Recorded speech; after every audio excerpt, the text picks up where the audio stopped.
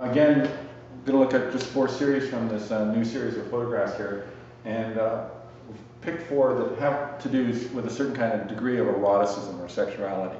And I think what's interesting about it from my perspective as an older male is that I think that men have not dealt with sexuality in their own work. I think that this photograph here in the beginning is more an appropriate kind of position that I would characterize most people as taking, or most men taking. It's just a blatant, you know, uh, square peg in a round hole, right?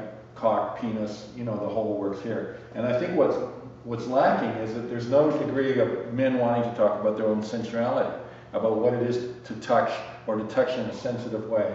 And I think that I'm going to characterize that by the next two photographs is that here I think that there's a kind of tentativeness to the, the touching. What I'm actually doing is I'm caressing a small rock that was given to me by a friend, and it's a very kind of loving touch. But I think when we get to the third photograph here, is I think that there's a real sense of like realizing that I want to embrace this rock, that I want to, you know, make love to this rock, that I want to caress this rock, that I want it to be part of my body.